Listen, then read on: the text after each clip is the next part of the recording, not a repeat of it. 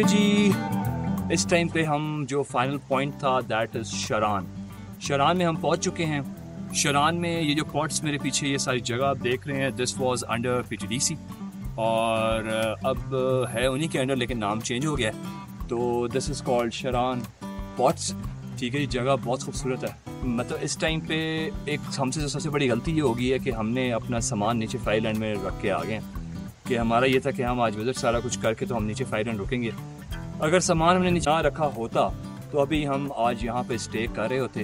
तो this is Sharan pots और very beautiful place जो लोग एडवेंचर के शौकीन हैं जो लोग नेचर के शौकीन हैं जो लोग पीसफुल इन्वायरमेंट के शौकीन हैं तो भाई this is the proper place for you people you will love this place थोड़ा सा एडवेंचरस है। uh, लेकिन यह है कि यहाँ पे पहुँचने के बाद आप कहेंगे बहुत आला। ठीक है जी?